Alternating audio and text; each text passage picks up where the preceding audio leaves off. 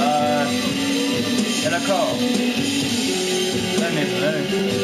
I'll forget this and go straight over. I'm not going around there. Forget that. Holy fucking Jesus!